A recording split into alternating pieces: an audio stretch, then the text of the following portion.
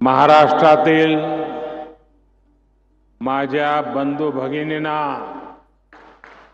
जय श्री कृष्ण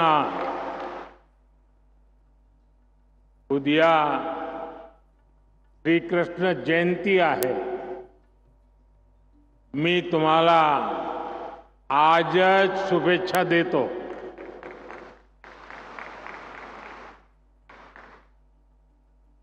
महाराष्ट्र के राज्यपाल श्री सीपी राधाकृष्णन जी, मुख्यमंत्री श्रीमान एकनाथ शिंदे जी, केंद्रीय मंत्रिमंडल के मेरे साथी, देश के कृषि मंत्री, ग्रामीण विकास मंत्री श्रीमान शिवराज सिंह चौहान जी, इसी धरती के संतान, मंत्री परिषद के मेरे साथी प्रताप राव जाधव, केंद्र सरकार में हमारे मंत्री श्री चंद्रशेखर जी, इसी धरती की संतान, बहन रक्षा खड़से जी उप मुख्यमंत्री श्री अजीत पवार जी, देवेंद्र फडणवीस जी, महाराष्ट्र सरकार के मंत्रीगण, सांसद और विधायकगण, और विशाल संख्या में हमें आशीर्वाद देने के लिए आई हुई माताएँ, बहनें।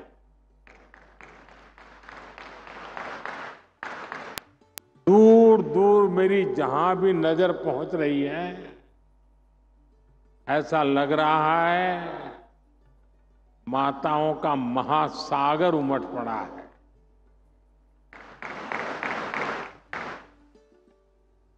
ये दृश्य अपने आप में सुकून देता है। अपनी बात शुरू करने से पहले मैं नेपाल बस हादसे को लेकर अपनी पीड़ा व्यक्त करना चाहता हूँ। इस हादसे में हमने महाराष्ट्र के जड़गांव के अनेक साथियों को खोया है। मैं सभी पीड़ित परिवारों के प्रति संवेदना व्यक्त करता हूँ। जैसे ही ये हादसा हुआ, भारत सरकार ने तुरंत नेपाल सरकार से संपर्क किया। हमने हमारी मंत्री रक्षाताई खड़से को तुरंत नेपाल जाने के लिए कहा। हमारे जो परिजन नहीं रहे उनके पार्थिव शरीर को हम वायुसेना के विशेष विमान से वापस लाए हैं। जो घायल है, उनका अच्छे से इलाज चल रहा है। मैं उनके जल्द स्वस्थ होने की कामना करता हूँ। मैं सभी पीड़ितों को विश्वास दिलाता हूँ कि उन्हें केंद्र और राज्य सरकार की ओर से पूरी मदद दी जाएगी। साथियों, आज लखपति दीदी का ये महासम्मेलन हो रहा है। मेरी सभी लाड़की बहन यहाँ बड़ी संख्या में उपस्थित है। आज यहाँ से देश भर के लाखों सखी मंडलों के लिए छह हज़ार करोड़ रुपए से अधिक की राशि जारी की गई है। लाखों बचत गटाशी जोडल्या गेलेल्या महाराष्ट्रातील आमच्या भगिनींना सुद्धा कोट्यवधी रुपयाची मदत मिळाली आहे. इस पैसे से लाखों बहनों को लखपति ददी बनाने में मदद मिलेगी। मेरी सभी माताओं बहनों को बहुत बहुत शुभेच्छा। साथियों, आप सभी में मुझे महाराष्ट्र की गौरवशाली संस्कृति और संस्कारों के भी दर्शन होते हैं। और महाराष्ट्र के ये संस्कार भारत ही नहीं विश्व भर में फैले हैं। मैं कल ही अपने विदेशी दौरे से, विदेश के दौरे से लौटा हूँ। मैं यूरोप के देश, पोलैंड गया था। और वहाँ भी मुझे महाराष्ट्र के दर्शन हुए।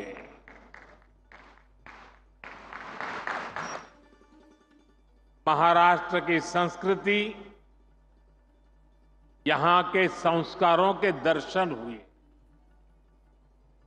पोलैंड के लोग, महाराष्ट्र के लोगों का बहुत सम्मान करते हैं।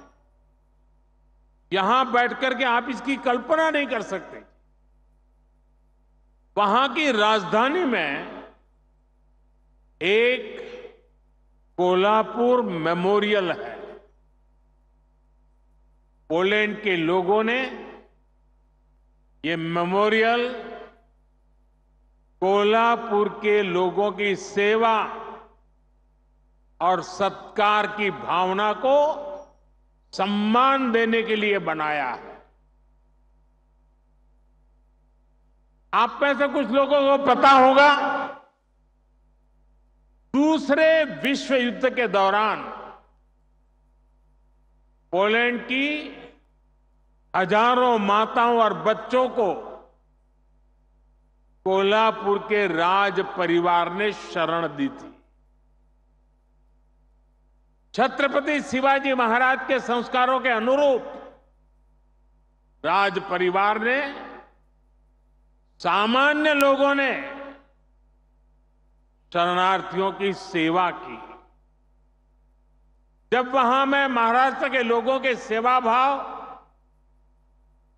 मानवता प्रेम की प्रशंसा सुन रहा था तो मेरा माथा गर्व से ऊँचा हो रहा था। हमें ऐसे ही महाराष्ट्र का विकास करके, महाराष्ट्र का नाम पूरी दुनिया में और ऊँचा करते रहना है। साथियों, महाराष्ट्र के संस्कारों को यहाँ की वीर और धीर माताओं ने सृजित किया है। यहाँ की मातृशक्ति ने पूरे देश को प्रेरित किया है। आमचे जळगाव हे तर वारकरी परंपराचे तीर्थ आहे। महान संत मुक्ताईची ही भूमि आहे। उनकी साधना, उनका तप आज की पीढ़ी के लिए भी प्रेरणा है। बहिणाबाई की कविताएँ आज भी समाज को रूढ़ियों से बाहर निकल सोचने के लिए मजबूर करती महाराष्ट्र का कोई भी कोना हो इतिहास का कोई भी कालखंड हो, मातृशक्ति का योगदान अप्रतिम रहा है। छत्रपति शिवाजी महाराज के जीवन को किसने दिशा दी? ये काम माता जिजाऊ ने किया। जब समाज में बेटियों की शिक्षा, बेटियों के कामकाज को महत्व नहीं दिया जाता था, तब सावित्रीबाई फूले आगे आई। यानी भारत की मातृशक्ति ने हमेशा समाज और राष्ट्र के भविष्य को बनाने में बहुत बड़ा योगदान दिया है। और आज जब हमारा देश विकसित बनने के लिए मेहनत कर रहा है तो फिर से हमारी मातृशक्ति आगे आ रही है। मैं अपने सामने देख रहा हूँ, महाराष्ट्र के आप सभी बहनें कितना अच्छा काम कर रही है। तुमच्या सगळ्यामध्ये मी, राजमाता जिजाऊ आणि सावित्रीबाई फुलेची छाप पाहतो। साथियों, जब मैं लोकसभा चुनाव के दौरान आपके बीच आया था तब मैंने कहा था कि हमें तीन करोड़ बहनों को लखपति दीदी बनाना है। यानी तीन करोड़ ऐसी बहनें और जो सेल्फ हेल्प ग्रुप में काम करती है, जिनकी एक साल की कमाई एक लाख रुपए से अधिक होगी। बीते दस वर्षों में एक करोड़ लखपति दीदी बनी और बीते दो महीने में, सिर्फ़ दो महीने में ग्यारह लाख और लखपति दीदी उसमें जुड़ गई, नई बन गई। यात सुद्धा एक लाख नवीन लखपती दीदी याच आपल्या महाराष्ट्रात तयार इसमें यहाँ की महायुति की सरकार ने भी बहुत मेहनत की है। एकनाथ जी, देवेंद्र जी और अजीत दादा की पूरी टीम माताओं, बहनों को सशक्त करने में जुटी हुई। महाराष्ट्र में माताओं, बहनों के लिए, नौजवानों के लिए, किसानों के लिए एक से बढ़कर एक स्कीम्स नई नई योजनाएँ चलाई जा रही साथियों, लखपति दीदी बनाने का ये अभियान सिर्फ़ बहनों बेटियों की कमाई बढ़ाने का अभियान है, इतना नहीं है।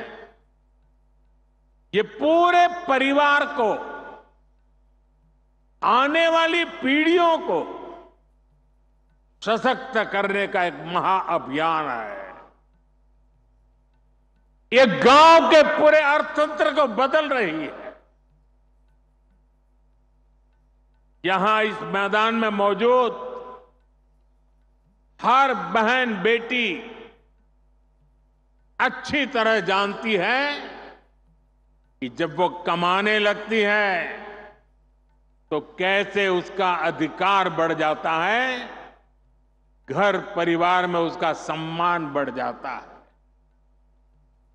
जब किसी बहन की कमाई बढ़ती है तो परिवार के पास खर्चने के लिए पैसे भी ज़्यादा जुड़ते हैं। यानी एक बहन का भी लखपति दीदी बनना पूरे परिवार का भाग्य बदल रहा है।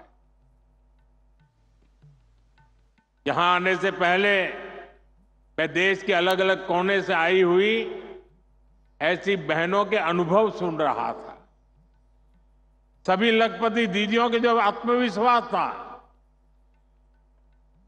और मैं कहता तो लखपति दीदी हूँ, लेकिन उसमें सब कोई दो लाख कमाने वाले थे, कोई तीन लाख वाले थे, कोई आठ लाख वाले भी थे।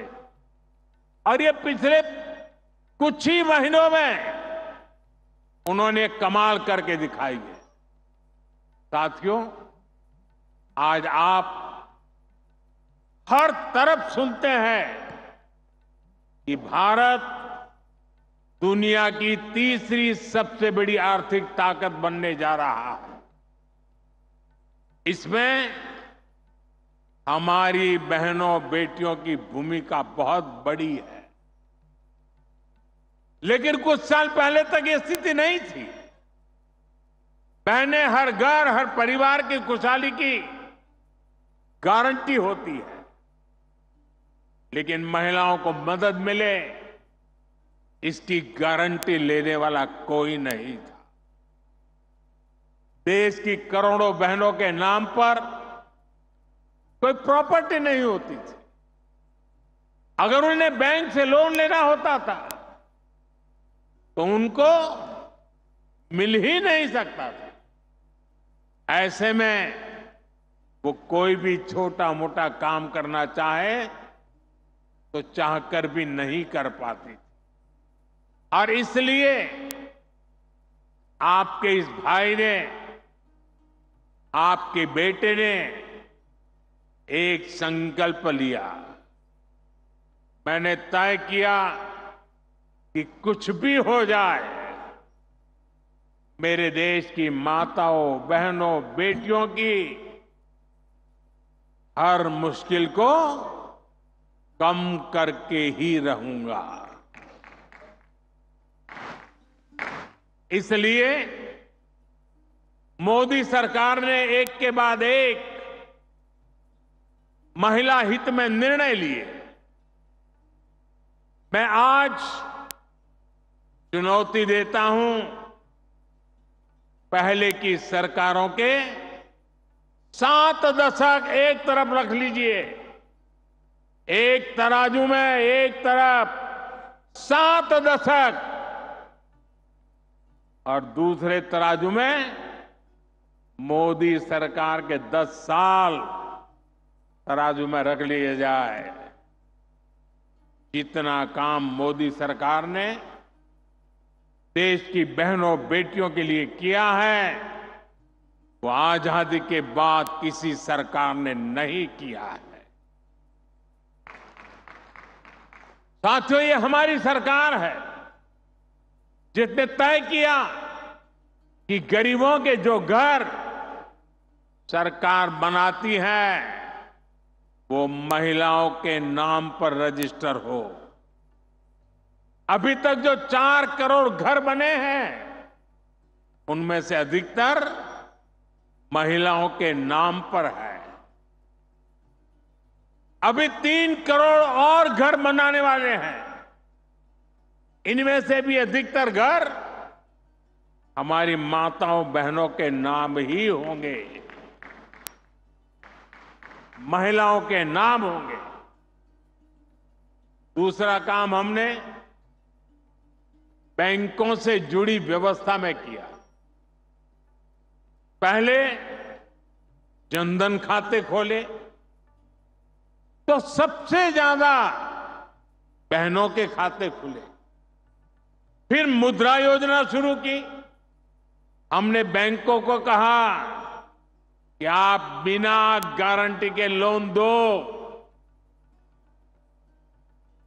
और अगर गारंटी चाहिए तो मोदी मौजूद है। इस योजना की करीब 70 प्रतिशत लाभार्थी माताएँ बहनें हैं।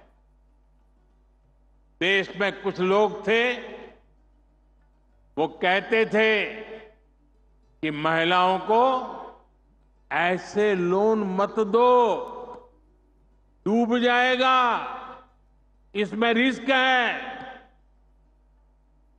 लेकिन मेरी सोच अलग थी। मुझे आप पर अपनी मातृशक्ति पर, उनकी ईमानदारी पर, उनके कर्तृत्व पर पूरा भरोसा है। माताओं, बहनों ने मेहनत की और ईमानदारी से लोन भी लौटाए। अब तो मुद्रा ऋण की सीमा हमने 20 लाख कर दी है। हमने रेडी फुटपाथ पर काम करने वालों के लिए भी स्वनिधि योजना चलाई। इसमें भी बिना गारंटी का ऋण दिया जा रहा है। इसका भी बहुत बड़ा फ़ायदा हमारी बहनों को, हमारी बेटियों को हो रहा है। हमारे विश्वकर्मा परिवार जो हस्तकला का काम करते हैं, इसमें भी बड़ी संख्या में हमारी बहनें जुड़ी हैं। उनकी गारंटी भी हमारी सरकार ने ली है। साथियों, पहले जब मैं सखी मंडलों की बात करता था, महिला सेल्फ हेल्प ग्रुप की बात करता था तो बहुत कम लोग थे जो ये देख पाते थे कि इसका महत्व क्या है। आज देखिए, ये भारत के अर्थतंत्र की एक बहुत बड़ी शक्ति बनती जा रही है। गाँव गाँव में दूर सुदूर आदिवासी क्षेत्रों में सखी मंडलों से जो परिवर्तन आ रहे हैं वो सबके सामने है। दस साल में यह आंकड़ा भी बहुत बड़ा है। दस साल में दस करोड़ बहनें इस अभियान से जुड़ चुकी हैं। और हमने इनको भी बैंकों से जोड़ा है। हमने उन्हें बैंकों से आसान और सस्ता ऋण दिया है। मैं एक आपको आंकड़ा देता हूँ। और ये सुनकर के आप ज़रूर चौंक जाएँगे। और आपको शायद मन में गुस्सा भी आएगा क्या मेरा देश पहले ऐसे भी चलता था क्या? साल 2014 तक साल 2014 तक पच्चीस हज़ार करोड़ रुपए से भी कम, पच्चीस हज़ार करोड़ रुपए से भी कम बैंक लोन सखी मंडलों को मिला था। 2014 से पहले पच्चीस हज़ार करोड़ से भी कम। याद रखिए ये मैं उन महिला सेल्फ हेल्प ग्रुप की बात करता हूँ। सिर्फ़ पच्चीस हज़ार करोड़। जबकि पिछले दस सालों में करीब नौ लाख करोड़ रुपए की मदद दी गई है।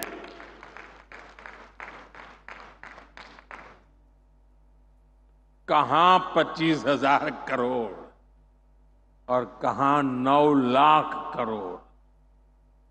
इतना ही नहीं, सरकार जो सीधी मदद देती है, उसमें भी लगभग 30 गुना की बढ़ोतरी की गई है।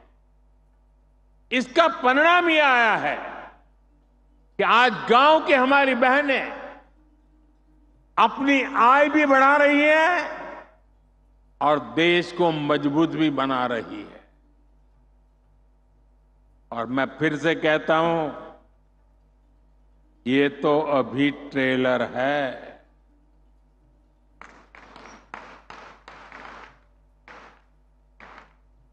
अब हम बहनों बेटियों की भूमिका का और विस्तार कर रहे हैं। आज सवा लाख से अधिक बैंक सखियाँ गाँव गाँव बैंकिंग सेवाएँ दे रही है। और अभी मुझे कुछ बहनें बता रही थी एक एक करोड़ रुपए का कारोबार करती है। अब हम बहनों को ड्रोन पायलट बना रहे हैं। हम बहनों के समूहों को लाखों रुपए का ड्रोन दे रहे हैं, ताकि वे ड्रोन से आधुनिक खेती करने में किसानों की मदद कर पाए। हम दो लाख पशु सखियों को भी ट्रेन कर रहे हैं ताकि वे पशुपालकों को मदद कर सके। यही नहीं, आधुनिक खेती के लिए, प्राकृतिक खेती के लिए भी हम नारी शक्ति को ही नेतृत्व दे रहे हैं। इसके लिए हमने कृषि सखी कार्यक्रम शुरू किया है। ऐसी लाखों कृषि सखियाँ आने वाले समय में देश के गाँव गाँव में हम बनाने के लिए आगे बढ़ रहे हैं। इन सभी अभियानों से बेटियों को रोज़गार भी मिलेगा, उनका आत्मविश्वास भी बढ़ेगा। और बेटियों के सामर्थ्य को लेकर समाज में भी एक नई सोच का निर्माण होगा। साथियों, अभी पिछले महीने ही देश का एक बजट आया है। इसमें माताओं, बहनों, बेटियों से जुड़ी योजनाओं के लिए तीन लाख करोड़ रुपए रखे गए हैं। बेटियाँ ज़्यादा संख्या में नौकरी करें, इसके लिए दफ्तरों में, फैक्ट्रियों में, उनके लिए विशेष सुविधाएँ बनाने की घोषणा की गई है। रहने के लिए वर्किंग विमेन हॉस्टल की सुविधा हो, बच्चों के लिए क्रेज की सुविधा हो, इसके लिए केंद्र सरकार काम कर रही है। हमारी सरकार बेटियों के लिए हर सेक्टर खोल रही है, जहाँ कभी उन पर पाबंदियाँ थी। आज तीनों सेनाओं में महिला अफसर तैनात हो रही है, फाइटर पायलट तैनात हो रही है। सैनिक स्कूलों में, सैन्य अकादमियों में बेटियों को दाखला मिल रहा है।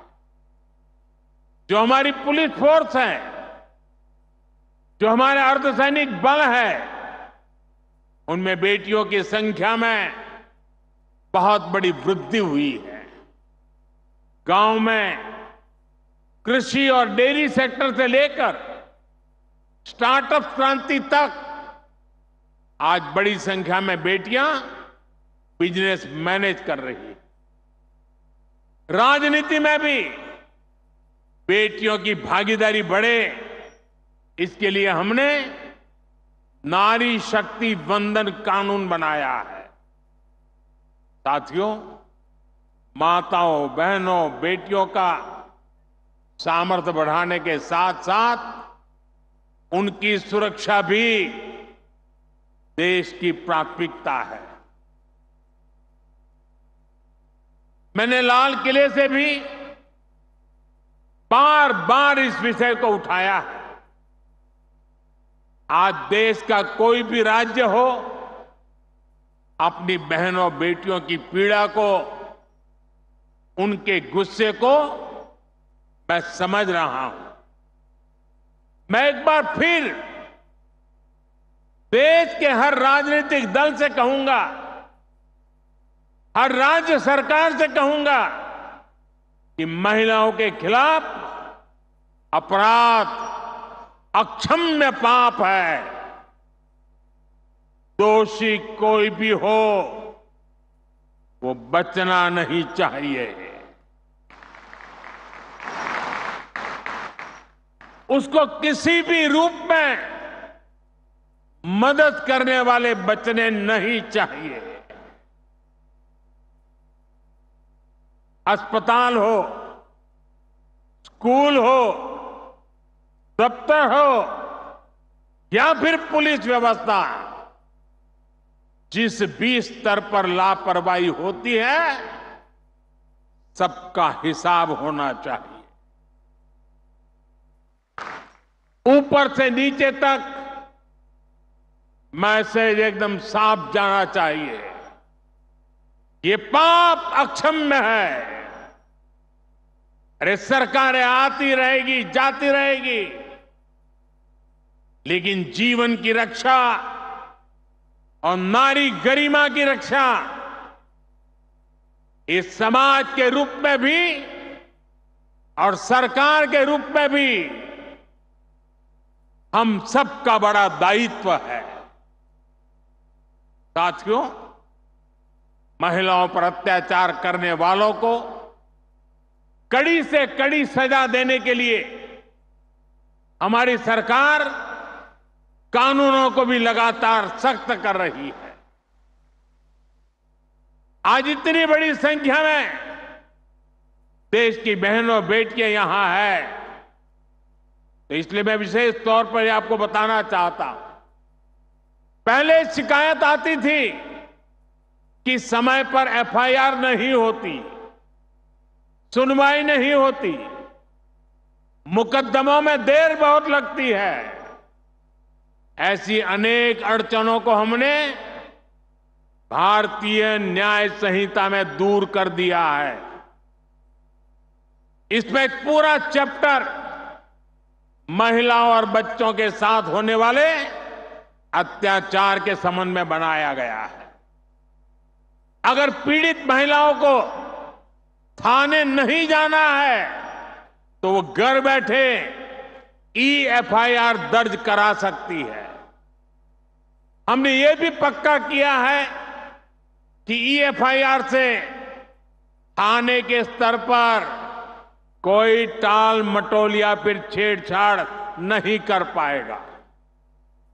इससे तेज़ी से जाँच करने और दोषियों को कड़ी सजा मिलने में भी मदद मिलेगी।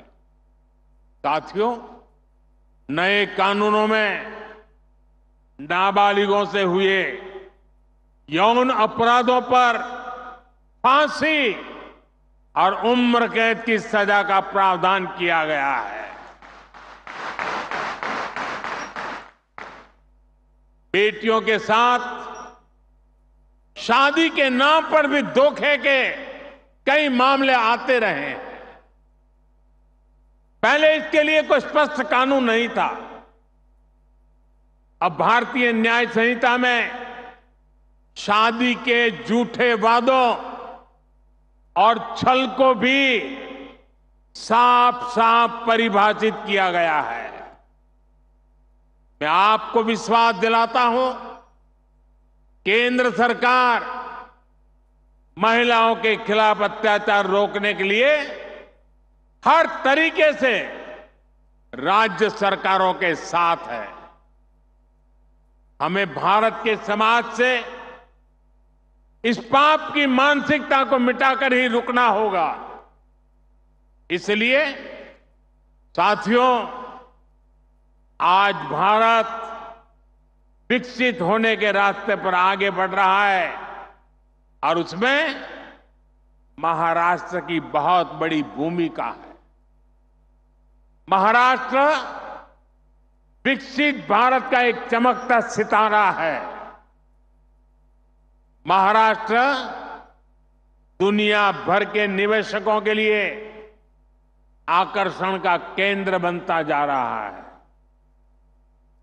महाराष्ट्र का भविष्य ज़्यादा से ज़्यादा निवेश में है, नौकरी के नए अवसरों में है।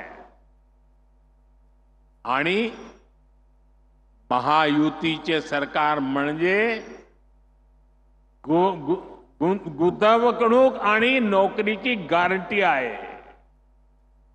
महाराष्ट्र को आने वाले कई कई वर्षों तक महायुति की स्थिर सरकार की ज़रूरत है।